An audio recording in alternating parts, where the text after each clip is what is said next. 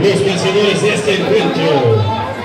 El Atar y el hijo de